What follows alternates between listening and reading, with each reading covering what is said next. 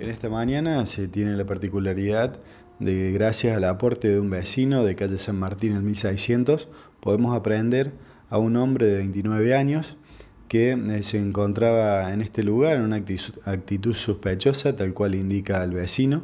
A partir de allí, la central de comunicaciones puede realizar un despliegue de patrulleros de las dependencias operativas de la ciudad hacia ese sector y en la vía pública aprender a esta persona que quería huir en una motocicleta.